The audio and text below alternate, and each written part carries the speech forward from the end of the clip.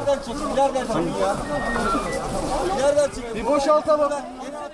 Isparta'da geçen yıl meydana gelen yoğun kar yağışının ardından Davras Kapalı Pazar yeri çökmüştü.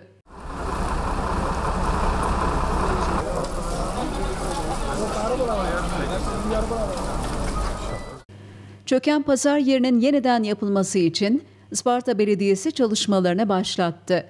Kısa süre içerisinde önemli bir mesafe kat eden ekipler yapı sağlamlığı için zeminde fore kazık ve altyapı çalışmalarını tamamladı. Pazar yerine 148 adet fore kazık yapıldı.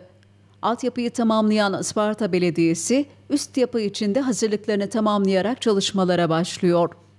Kapalı pazar yerinin çatısı ise güneş enerjisi santraline uygun olarak yapılacak ve bu sayede elektrik üretimi gerçekleştirilecek. Fore kazık imalatları ve betonerme işlerinin tamamlandığına dikkat çeken proje müdürü Esra Süslü, uzay kafe sistemi içinde çalışmaların başladığını kaydetti. Bu zamana kadar şantiyemizde demir kalıp beton ve hafriyat işlerini tamamladık. Fore kazık imalatlarımız tamamlandı.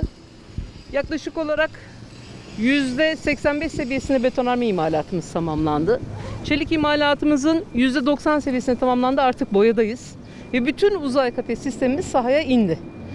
Ee, sandviç panellerimize sipariş ettik. Onlar da iki ay içerisinde sahaya inmiş olacak. Yani süreç montaj aşaması devam ederken burada sandviç panellerle tamamlanarak inecek. Burada ilave olarak güneş enerji sistemiyle yapılacak olan bir panel montajımız var. Altyapı tüm imalatları gerçekleştireceğiz. Güneş enerjisini hazır vaziyette teslim etmiş olacağız size. Burada yaklaşık 1,5 metre, 1,5 metre 80 santim yüksekliğinde ufak temeller vardı ve bu temellerle beraber üstüne e, tij derinliği yaklaşık 30 santim olan çelik kolonlarla devam edilmişti. Biz de bu çelik kolonları kullanıyoruz ama bunları güçlendirdik.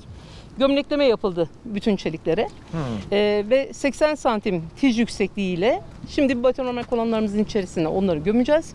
Ondan sonra da üzerine çelik ve uzay kafesi yapacağız. Isparta Belediyesi tarafından sürdürülen çalışmalarla Davras Kapalı Pazar yerinin Ağustos ayı içerisinde tamamlanması hedefleniyor.